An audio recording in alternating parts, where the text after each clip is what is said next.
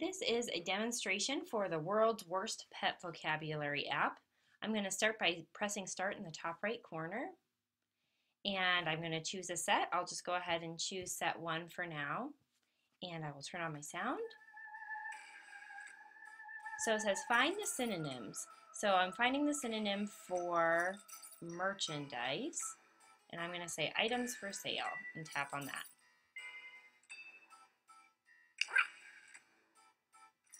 Okay, so now it says go ahead and find the one for economical. So I will tap it and drag it to the next level. And I'll continue to do that.